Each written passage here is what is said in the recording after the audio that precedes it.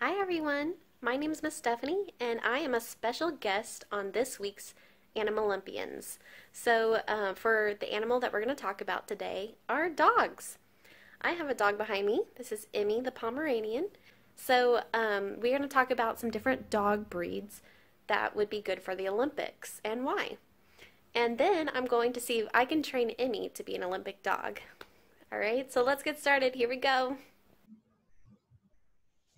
Okay, let's talk about some super athletic dogs that we could consider to be Olympic animals. First is the Border Collie. Border Collies are really good at herding, agility, and obedience. For Border Collies, it's in their nature to herd anything. To herd is to watch over and guide other things. These dogs are known to herd livestock like sheep, but they will just herd about anything that moves, even cars. Next is the Weimaraner.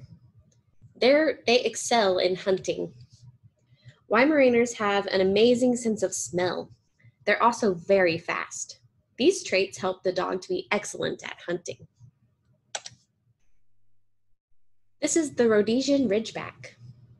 They are strong, agile, which means they're quick, and they're, they they excel at running. The Rhodesian Ridgeback is very muscular and strong. They're so strong that they can hunt animals as big as lions. Next is the Greyhound. Greyhounds excel at running. Greyhounds are the fastest dogs in the world. They can run up to 45 miles per hour.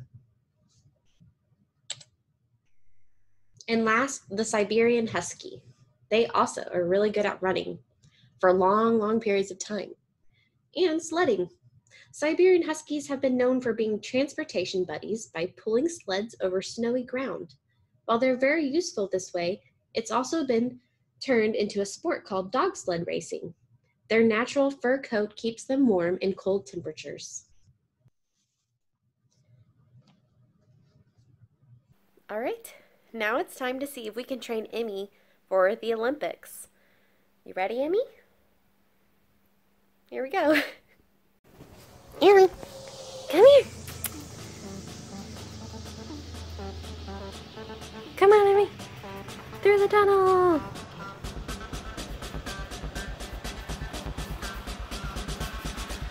Good girl.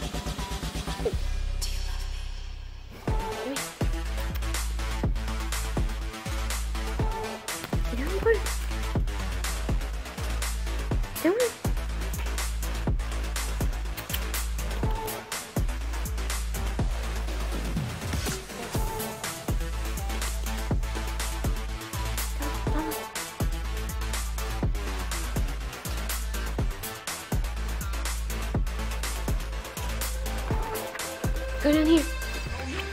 Jump. Go down here. Jump. Go down here. Good girl. Come on. Jump. Go down here. Jump. Good girl. Dance. Dance. Dance. Dance. Dance.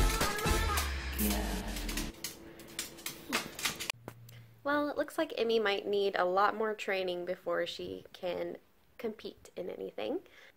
To train any dog, it takes a long time. It takes patience and uh, practice. So I think Emmy could become an athletic dog if we trained every day. But I think she enjoys being herself, being comfy here on the couch. All right, thanks for listening to me this week on Animalympians, and we'll see you later. Bye.